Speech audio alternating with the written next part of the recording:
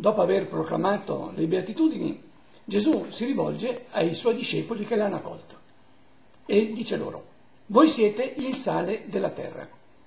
Qual è il significato di questo sale?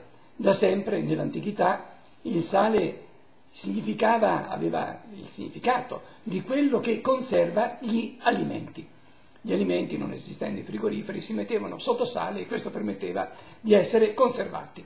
Da questo fatto di conservare gli alimenti, poi il sale passò, in maniera figurata, a rappresentare quello che rende valido e vero un'alleanza. Per esempio su un documento, per dargli valore eh, di validità continua, si spargeva sopra del sale. Allora questo sale nell'Antico Testamento è diventato addirittura il segno dell'alleanza di Dio con il suo popolo. Nel libro del Levitico, per esempio, si legge non lascerai mancare il sale, cioè la fedeltà, dell'alleanza del tuo Dio. Quindi il sale è quello che rende valida e continua l'alleanza tra Dio e il suo popolo.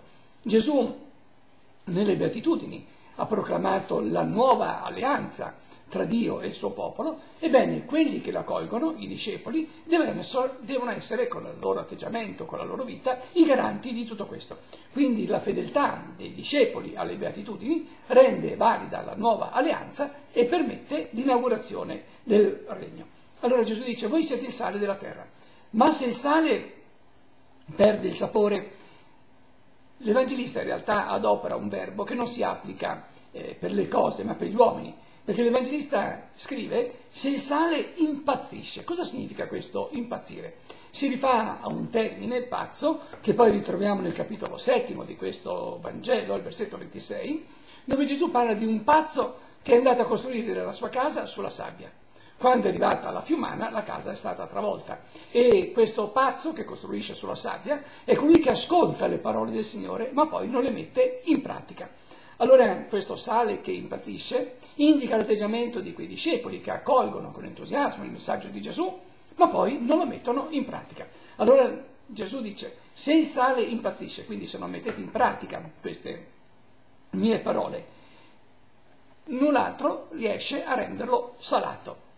E a nulla serve che ad essere gettato via, letteralmente l'Evangelista scrive fuori, che nel Vangelo di Matteo sempre, ha sempre un significato di lontananza da Dio, quindi è sempre un significato negativo, e calpestato, Matteo adopera un verbo che dà proprio l'idea di qualcosa che viene triturato, calpestato dalla gente. Cioè, se voi non siete fedeli, sta dicendo Gesù ai discepoli, a questa nuova alleanza alle beatitudini, voi che mi seguite, ebbene meritate soltanto il disprezzo della gente. La gente che attende da voi un'alternativa a questa società, che attende da voi una modalità diversa della vita. Se vede che voi eh, avete accolto questo messaggio a parole, ma poi non lo praticate, rimane delusa e si perde, quindi meritate il disprezzo. Poi Gesù passa un altro esempio, voi siete la luce del mondo. Luce del mondo a quel tempo si considerava Gerusalemme, si considerava Israele, il profeta Isaia che nel capitolo 60 scriveva cammineranno le genti alla, alla tua luce. Ebbene, ora la luce del mondo non è più qualcosa di statico, ma qualcosa di dinamico. Il gruppo di discepoli che poi alla fine del Vangelo Gesù li manderà ad annunziare questa buona notizia. E qui Gesù fa degli esempi riguardo questa luce, dice che la lampada non si accende per metterla sotto il moggio. Perché l'Evangelista adopera questo termine moggio? Moggio era il recipiente che si adoperava per misurare o conservare i cereali, in particolare il grano. Ebbene, il moggio è immagine di quello che si dona, di quello che si dà. Il moggio allora non deve nascondere la luce, ma ne deve essere l'espressione. Questa luce si manifesta nel dono, nel donare se stessi. Infatti dice, metterla sotto il moggio, va sul candelabro, così fa luce a tutti quelli che sono nella casa.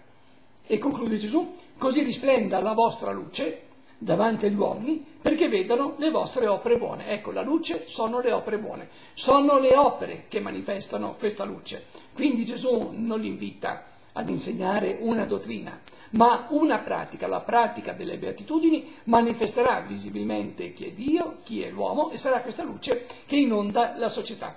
Ma queste opere che sono la luce del mondo devono servire, aggiunge Gesù, e rendono gloria al Padre vostro che nei cieli. Quindi non la propria gloria per la propria ammirazione. Gesù poi più avanti nel capitolo sesto rimproverrà quegli ipocriti, cioè teatranti, commedianti, e dirà guardatevi dal compiere le vostre buone opere davanti agli uomini per essere da loro ammirati. Questo è il peccato di idolatria. L'ammirazione e la gloria di queste opere vanno dirottate e per la prima volta nel Vangelo di Matteo Dio viene presentato come Padre. Padre nella cultura dell'epoca è colui che genera e che comunica la vita, il Padre vostro che è nei cieli. Quindi l'invito di Gesù è che la pratica delle beatitudini è questa luce che piano piano inonda la società che sta nelle tenebre e che è assetata di questa pienezza di vita.